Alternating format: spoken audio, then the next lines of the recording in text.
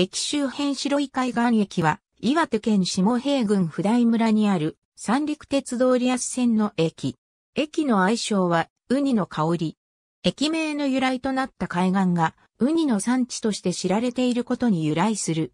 単式ホーム一面一線の地上駅。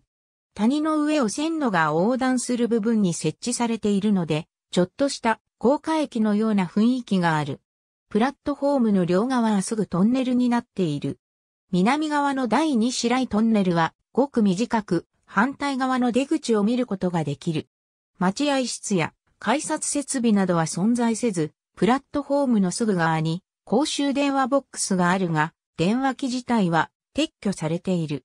駅から川沿いに標高差約50メートルの坂道を下ると、やがて小さな漁港に出る。ただし、こちら側に民家は全く存在せず、売店はもちろん自動販売機の類も見つけることができない。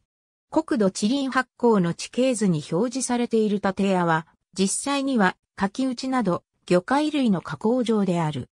山側の急峻な坂道を登ると、約 1km で白井地区の外れに到着するが、行き交う車両もほとんどなく、かなり寂しい工程となる。